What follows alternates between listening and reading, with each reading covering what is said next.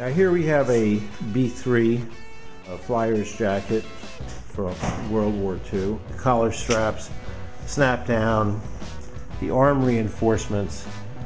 The size of the labels were quite small. This one saw action over Europe. You might remember the Memphis Belle.